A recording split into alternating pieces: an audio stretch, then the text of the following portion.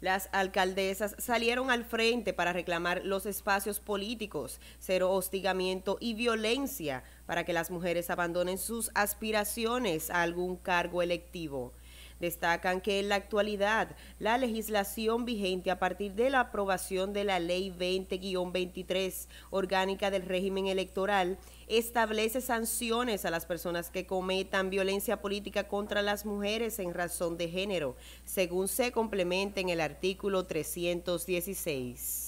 La violencia ha existido en todos los procesos electorales, durante todos los procesos de campañas, en todos los partidos políticos. Sin embargo, esta es la primera vez cuando la ley nos da la oportunidad de poder nosotras defender y exigir nuestros derechos. Advierten que llevarán a los tribunales a los que agredan a las mujeres en política. Informamos que vamos a judicializar algunos casos para generar un precedente con esta ley, porque no es posible que en ningún medio de comunicación, ninguna mujer, ningún hombre pueda seguir alzando sus voces, maltratando a nuestras mujeres que han decidido dar un paso al frente, porque han decidido construir una mejor sociedad.